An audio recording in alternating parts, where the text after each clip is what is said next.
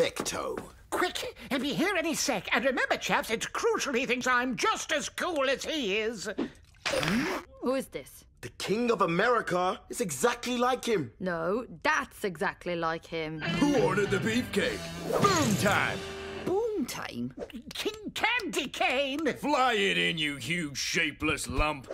What's up, Shrimpy? First time you've met a king who doesn't wet the bed? Hey, he tries his best. You know, I once wrestled a dinosaur. Didn't happen. No wonder those suckers went extinct. Boom time!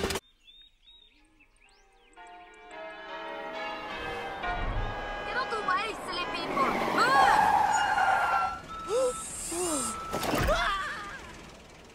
Finally here, Tinkershrimp. The National Politeness Championships. Hooray for politeness! Politeness?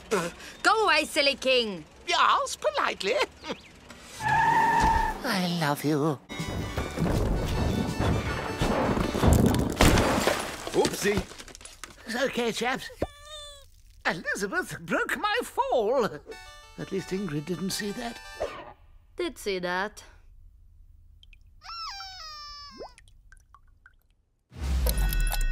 You sure you're not been scoffing sticky toffee buns on the sly?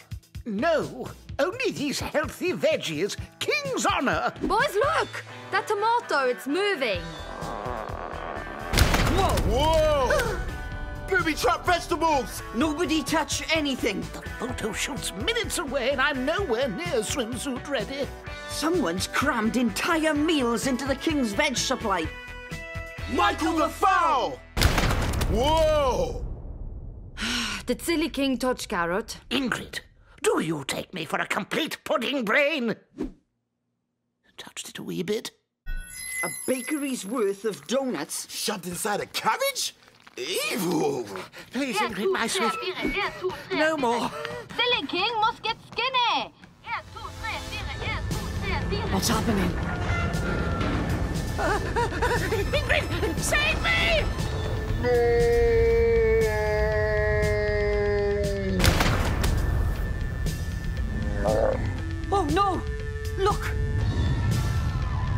Michael's booby trapped the entire town's veg supply.